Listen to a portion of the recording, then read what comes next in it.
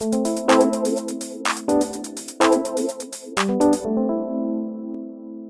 decided to study at Way because I wanted so badly to study abroad and it's been my dream since I was like little. It's good because we can choose things that we like and we can work with different subjects and like themes and contemporary things. As I said, I think Way it's really great because it gets me closer to the opportunity that I want to study abroad. Way is fun. We get to play games to learn more English and to get more experience and grammar and vocabulary. So yeah, come with Way.